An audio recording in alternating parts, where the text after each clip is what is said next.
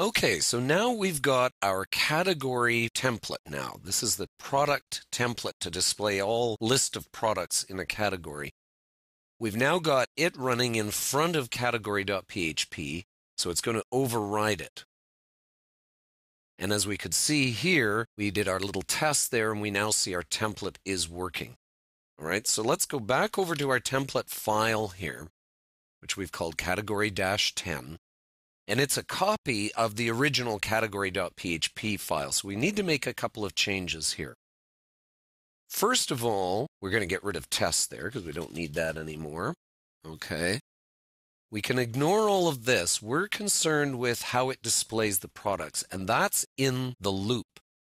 WordPress uses something called the loop, and you can see it here. Start of the loop. All right. The loop loops through all the posts in a category, in our case, products. All right. So it says, while it has posts, do the next post. While it has the next post, do the next post and so on and so on until it loops through them all and comes to the end of the loop. So what follows after this point here, this section right in here, is the area where it's going to choose what to display. Now, in this particular case, it's actually going to yet another file to get that information. Now, in our case, we don't need to do that because we're going to put it all in here. This is a specialized category template right? So we don't need to go and find different kinds. You can see here it says get the post format. It would go and find the particular format and put in that kind of format content there. We don't need that. Ours are all the same. So we can get rid of all of this. Now, how do we know we can do that? Because we're above this line right here, end while. That's the part that's telling the loop to stop. So in between here is where we're going to do all our work with individual products. And the first thing we need to do is we need to grab out all of those custom fields we've created. Now there's a very nice simple command in WordPress for doing that. And I'm going to show you over here. This is some code that I've put together beforehand. And I'm going to include all of this as working files with these explanations and everything. So the first thing we're going to do here this finds all the values of custom fields attached to the current post. So I just grab this. It's called get post custom. That's the template tag, as they're called. WordPress template tag.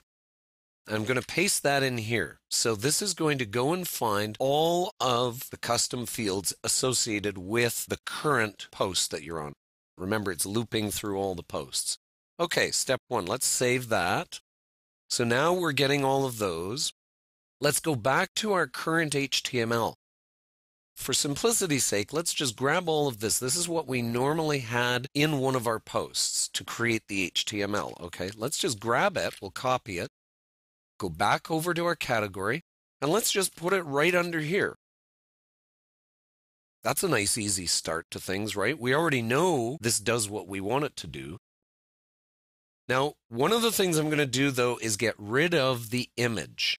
I'm going to delete that line that has the image in it. And you'll see why a little later on. But we don't want the image in right now. It's going to come in differently. But here's our product info class.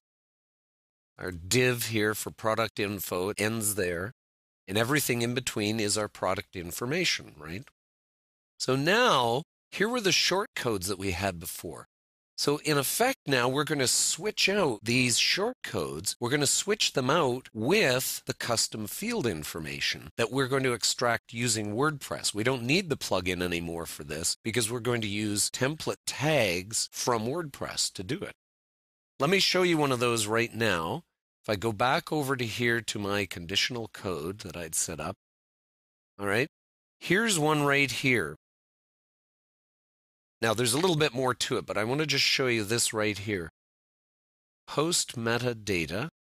If I copy this and I come back over to here to category 10, I can replace this, the embedded shortcode, I can replace it with this.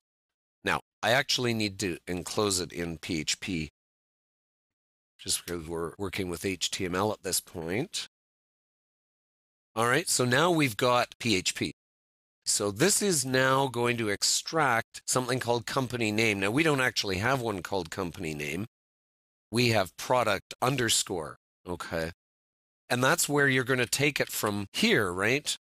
If I go back, remember it was product description. So that's the basic idea of what we're going to do. And in another video, I'll show you how we do it in detail for every one of these former short codes, which we're now going to replace with template tags.